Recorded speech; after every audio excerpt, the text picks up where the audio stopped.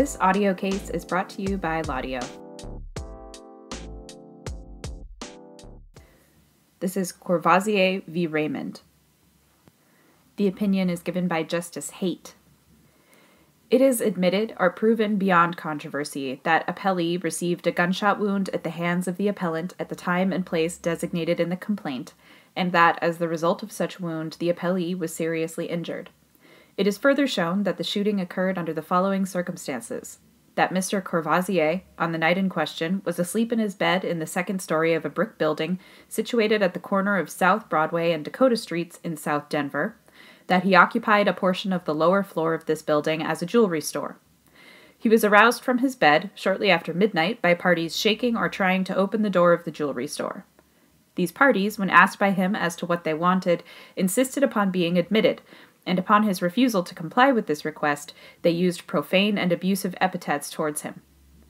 Being unable to gain admission, they broke some signs upon the front of the building, and then entered the building by another entrance, and passing upstairs, commenced knocking upon the door of a room where defendant's sister was sleeping.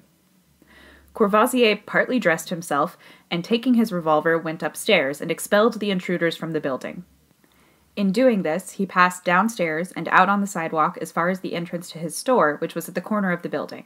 The parties expelled from the building upon reaching the rear of the store were joined by two or three others.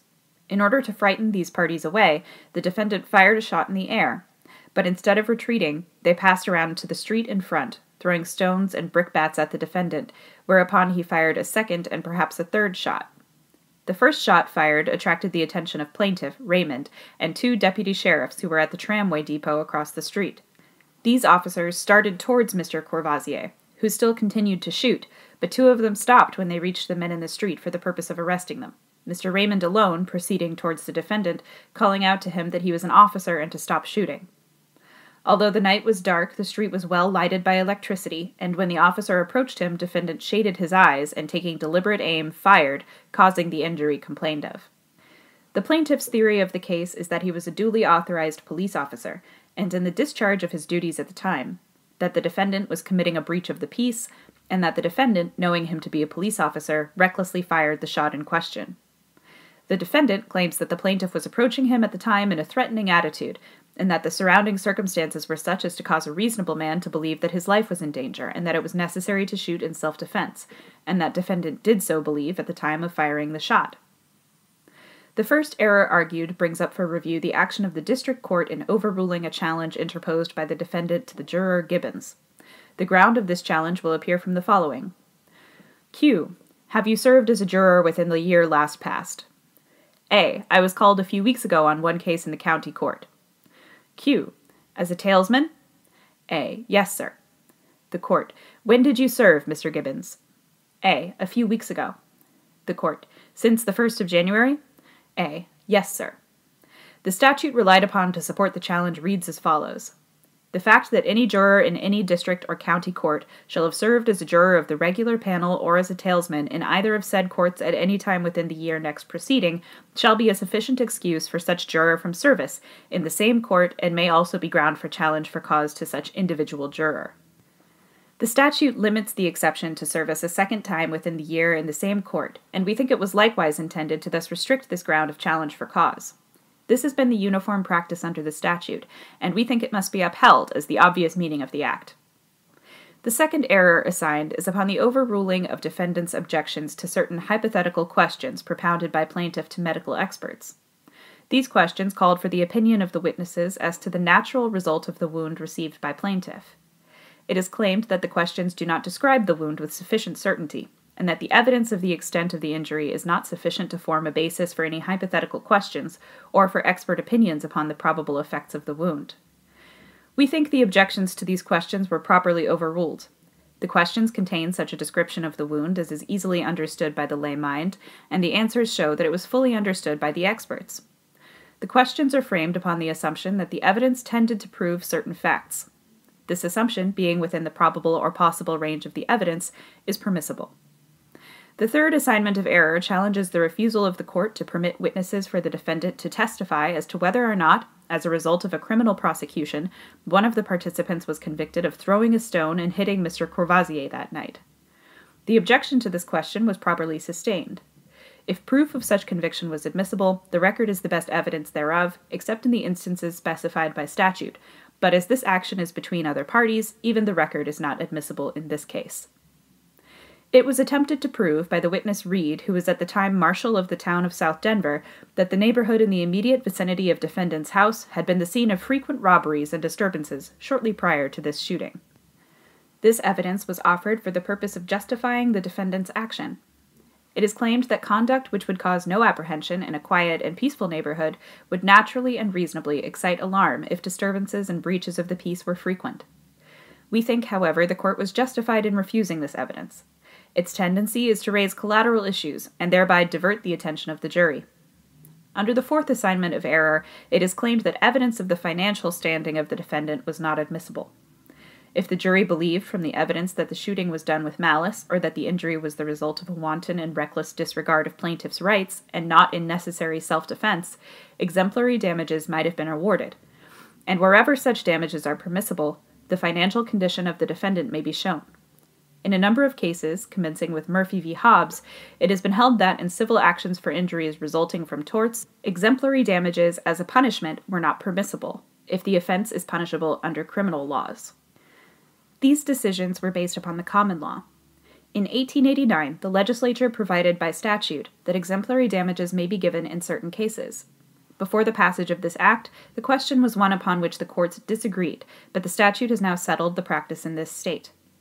The next error assigned relates to the instructions given by the court to the jury, and to those requested by the defendant and refused by the court. The second instruction given by the court was clearly erroneous. The instruction is as follows the court instructs you that if you believe, from the evidence, that at the time the defendant shot the plaintiff, the plaintiff was not assaulting the defendant, then your verdict should be for the plaintiff. The vice of this instruction is that it excluded from the jury a full consideration of the justification claimed by the defendant. The evidence for the plaintiff tends to show that the shooting, if not malicious, was wanton and reckless, but the evidence for the defendant tends to show that the circumstances surrounding him at the time of the shooting were such as to lead a reasonable man to believe that his life was in danger, or that he was in danger of receiving great bodily harm at the hands of the plaintiff, and the defendant testified that he did so believe. He swears that his house was invaded shortly after midnight by two men whom he supposed to be burglars, that when ejected, they were joined on the outside by three or four others, that the crowd so formed assaulted him with stones and other missiles, when to frighten them away he shot into the air, that instead of going away, someone approached him from the direction of the crowd, that he supposed this person to be one of the rioters, and did not ascertain that it was the plaintiff until after the shooting. He says that he had had no previous acquaintance with plaintiff, that he did not know that he was a police officer, or that there were any police officers in the town of South Denver, that he heard nothing said at the time by the plaintiff or anyone else that caused him to think the plaintiff was an officer, that his eyesight was greatly impaired, so that he was obliged to use glasses, and that he was without glasses at the time of the shooting, and for this reason could not see distinctly. He then adds, I saw a man come away from the bunch of men and come up towards me, and as I looked around, I saw this man put his hand to his hip pocket. I didn't think I had time to jump aside, and therefore turned around and fired at him. I had no doubts but it was somebody that had come to rob me, because some weeks before, Mr. Wilson's store was robbed. It is next door to mine. By this evidence, two phases of the transaction are presented for consideration. First, was the plaintiff assaulting the defendant at the time plaintiff was shot? Second, if not, was there sufficient evidence of justification for the consideration of the jury?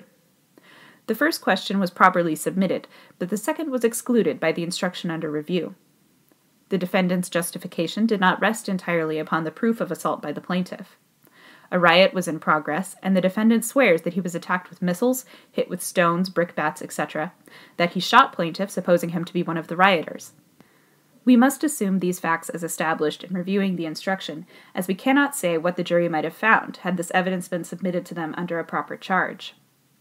By the second instruction, the conduct of those who started the fracas was eliminated from the consideration of the jury, if the jury believed, from the evidence, that the defendant would have been justified in shooting one of the rioters had such a person advanced towards him as did the plaintiff, then it became important to determine whether the defendant mistook plaintiff for one of the rioters. And if such a mistake was in fact made, was it excusable, in the light of all the circumstances leading up to and surrounding the commission of the act? If these issues had been resolved by the jury in favor of the defendant, he would have been entitled to a judgment. The opinion, the first of the cases above cited, contains an exhaustive review of the authorities and is very instructive. The action was for damages resulting from a pistol shot wound. The defendant justified under the plea of self defense. The proof for the plaintiff tended to show that he was a mere bystander at a riot when he received a shot aimed at another. And the court held that if the defendant was justified in firing the shot at his antagonist, he was not liable to the plaintiff, for the reason that the act of shooting was lawful under the circumstances. Where a defendant, in a civil action like the one before us, attempts to justify on a plea of necessary self defense, he must satisfy the jury not only that he acted honestly in using force, but that his fears were reasonable under the circumstances, and also as to the reasonableness of the means made use of. In this case, perhaps the verdict would not have been different had the jury been properly instructed, but it might have been, and therefore the judgment must be reversed. Reversed.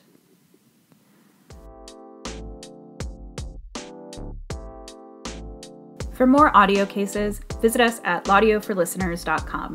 Follow us on Instagram and Facebook, and subscribe to our YouTube channel.